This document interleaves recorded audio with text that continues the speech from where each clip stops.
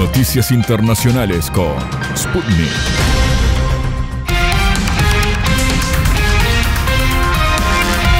182 aumentó el número de muertos por los ataques aéreos israelíes contra asentamientos en el sur del Líbano. El Centro de Operaciones de Emergencia del Ministerio de Salud libanés también contabiliza 727 civiles heridos, entre niños, mujeres y paramédicos. Como parte de las medidas preventivas ante los ataques israelíes, el Ministerio de Educación libanés anunció que las clases serán canceladas en todo el país a partir del 24 de septiembre. Además, las escuelas de varias regiones del Líbano se convertirán en refugios para los numerosos residentes desplazados de sus hogares por su parte, el Ministerio de Salud del Líbano anunció que los hospitales del sur y el este suspenderían todas las cirugías que no son urgentes para poder atender a los heridos de los intensos ataques israelíes.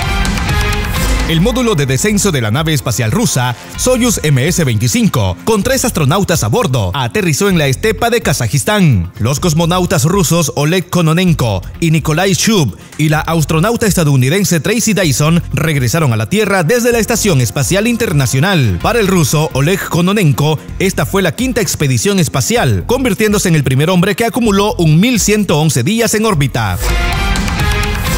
La India detectó el primer contagio por la nueva variante Clade 1 de la viruela del mono. El infectado es un hombre de 38 años que llegó de los Emiratos Árabes Unidos al estado de Kerala, en la India. El 13 de agosto, los Centros para el Control y la Prevención de Enfermedades de África declararon una emergencia de salud pública por el brote de la viruela del mono. Poco después, la Organización Mundial de la Salud catalogó el brote de la viruela del mono en África como una emergencia de salud pública de importancia internacional.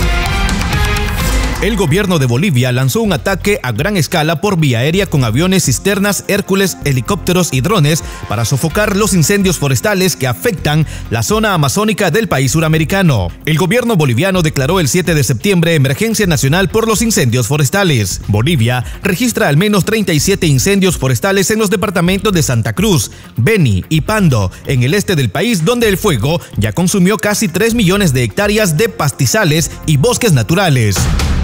Más información en sputniknews.la.